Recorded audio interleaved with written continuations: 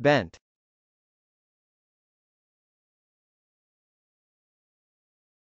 Bent.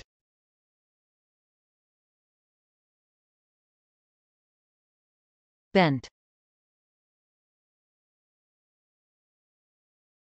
Bent can be a verb, an adjective or a noun. As a verb bent can mean, 1. The past tense form of bend. 2. Bend. As an adjective bent can mean, 1. Folded, dented. 2. Corrupt, dishonest.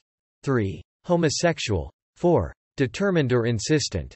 5. Of a person leading a life of crime. 6. Inaccurately aimed. 7. Suffering from the bends. 8. High from both marijuana and alcohol. As a noun bent can mean, 1. An inclination or talent. 2. A predisposition to act or react in a particular way. 3. The state of being curved, crooked, or inclined from a straight line. Flexure, curvity. 4. A declivity or slope, as of a hill.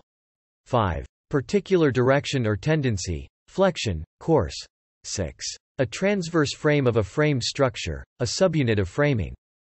7. Tension, force of acting, energy, impetus. 8. Any of various stiff or reedy grasses. 9. A grassy area, grassland. 10. The old dried stalks of grasses.